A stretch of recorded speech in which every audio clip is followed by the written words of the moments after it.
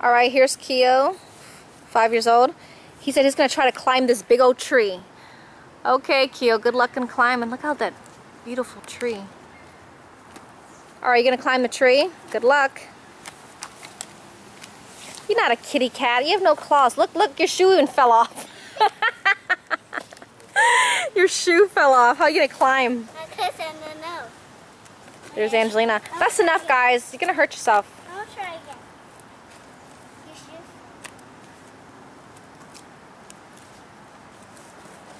All right, let's go. That's yucky on your hand. All right, guys. Bye. See you later.